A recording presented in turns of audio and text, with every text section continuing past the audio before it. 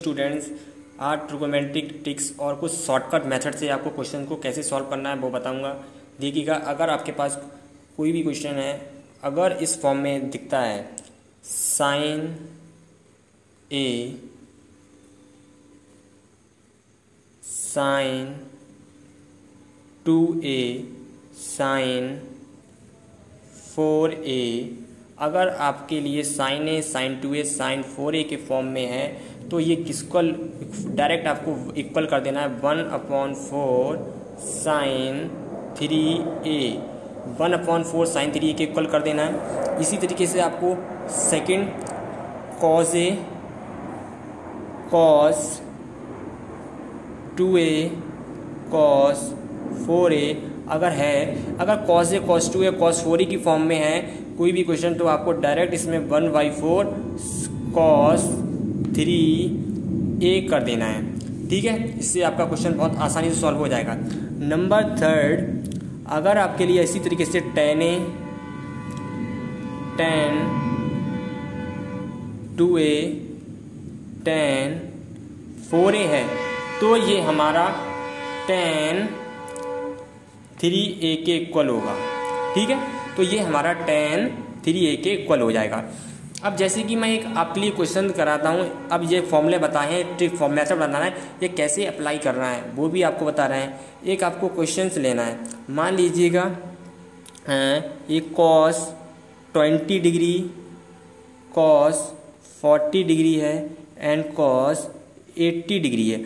अब देखो, ये कॉस ए ये आपका ए हो गया ट्वेंटी एंड फोर्टी के लिए आप टू इंटू ए करके लिख सकते हैं इसके लिए आप। आप, ये आपका फोर इंटू ए हो जाएगा। यानी कि ए की वैल्यू आपकी ये क्या चाहे ट्वेंटी है। यानी कि ये ट्वेंटी है, ये टू इंटू ट्वेंटी यानी कि ये फोर इंटू ट्वेंटी डिग्री तो आपका देखना है, ये ए टू ए फोर ए की फॉर्म में है। तो आप इसमें किसके इक्वल कर देंगे? डायरेक्ट आपको कर देना है। वन बाई फोर लगा देना है। And cos three into A A क्या है आपका? ट्वेंटी डिग्री है। देखिएगा कितनी आसानी से सॉल्व हो गया। अब one by four cos three two या सिक्स यानी कि कॉस सिक्सटी डिग्री हो गया। अब आप जानते हैं कॉस सिक्सटी डिग्री की वैल्यू क्या होती है? बताओ प्यारे बच्चों जल्दी जल्दी बताओ क्या होती है? वन अपॉन टू होता है यानी कि वन फोर टू या एट तो देखा कितना आसानी से सॉल्व हो गया इस मेथड से। ठीक है? और, और भी मैं ट्रिक्स बताने रहा हूँ देखिएगा।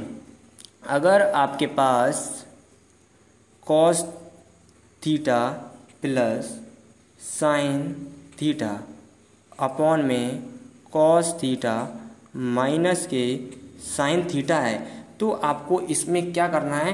डायरेक्ट आपके लिए tan forty five degree plus theta कर देना है।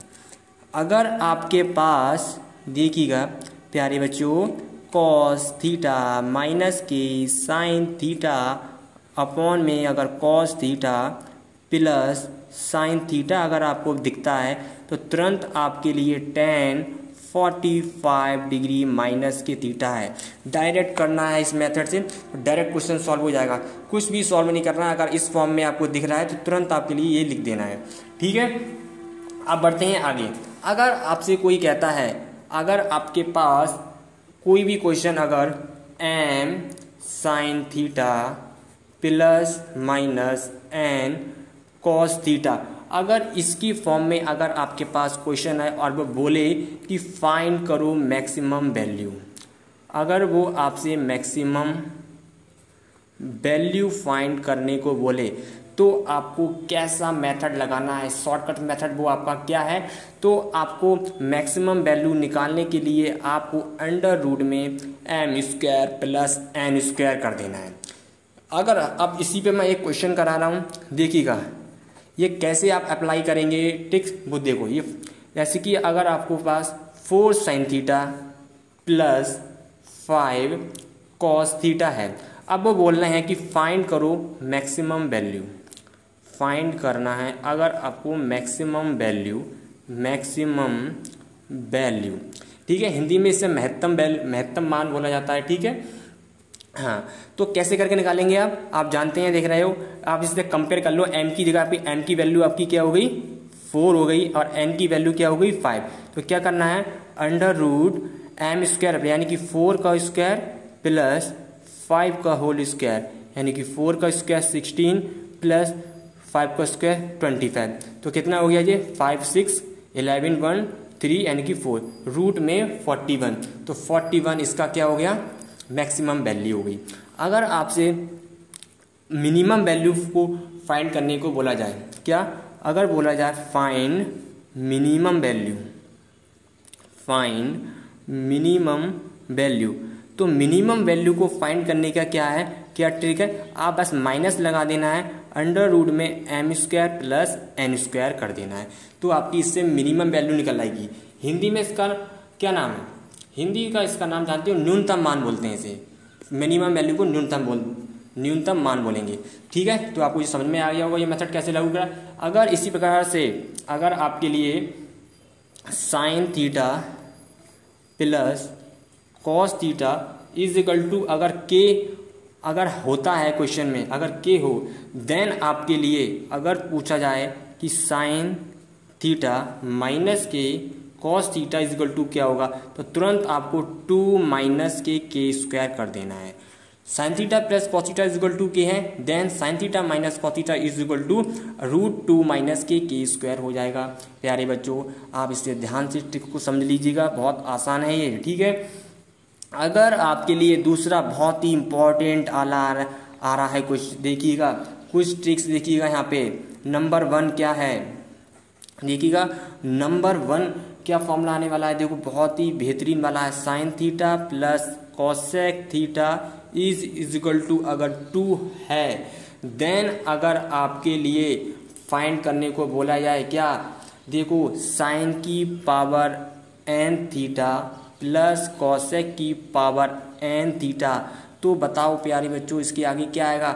आपको कुछ नहीं करना है। जो sine theta plus cosec theta is equal to two है तो यहाँ पे भी आपका टू हो जाएगा।